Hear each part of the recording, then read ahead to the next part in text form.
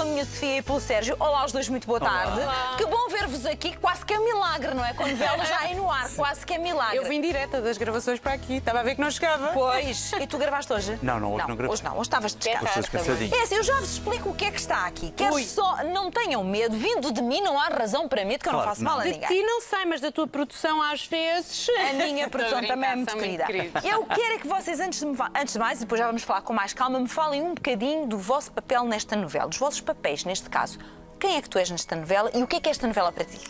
Olha, eu sou a Célia. É-me difícil falar da Célia, ela é muito complexa. A Célia não é um- um- somente uma vilã, é uma mulher. Ah, é a vilã!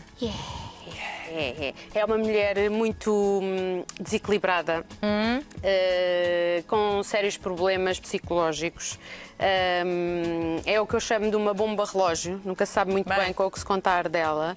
Hum, a única coisa que a faz eh, gente é o amor que ela tem pela filha e nem esse amor É a adoça. Portanto, é, hum, é, um, é um desafio daqueles mesmo. E eu gostava tanto de poder contar mais. E não podes, eu sei, não por isso eu não vou puxar muito para as perguntas, porque nós queremos é que as pessoas vejam a novela. E depois Claro, vou-me claro. cruzar com, Com o Sérgio. com o Sérgio, com a personagem dele, o Raul, que também é pera doce. Então, e o teu Sérgio? Também já ouvi dizer que é boa pessoa, não é? É, o Raul também é o vilão Também não é nada vilão? Somos um casal de vilões aqui. e o Raul é um homem que não assume os seus compromissos, é um homem que não trata muito bem a sua esposa nem o seu filho. Ai, é um homem querido. que cometeu um crime no passado e que não conseguiu assumir as culpas e pediu eh, ao tio para o ajudar e a encontrar alguém para assumir as culpas por ele. Entretanto, Bem. essa pessoa que foi presa vai sair da prisão e vem à procura de mim.